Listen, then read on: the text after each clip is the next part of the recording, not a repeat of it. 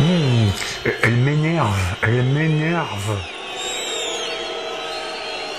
Mmh.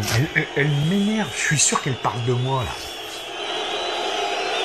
Bon, maintenant, vous allez arrêter de, de parler de moi. hein. Autrement, je le dis à l'arbitre.